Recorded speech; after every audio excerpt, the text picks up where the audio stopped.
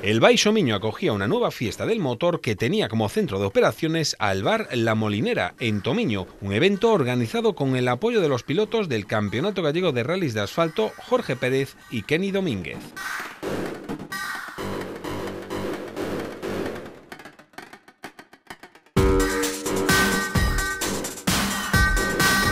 Ambos exponían allí sus máquinas, el primero el Clio Williams del Grupo A y el segundo el Saxo VTS.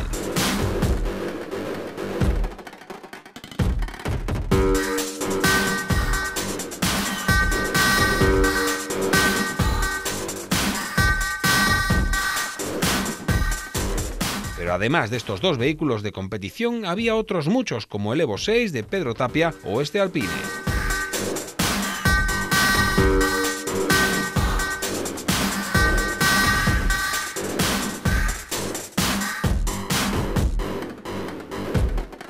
Pero además en la molinera también había todo tipo de actividades como esta exposición de cuadros racing, este Scalestric para los más pequeños o este simulador donde pilotos y aficionados se batían en duelo en carreras virtuales en el mismísimo circuito alemán de Nürburgring.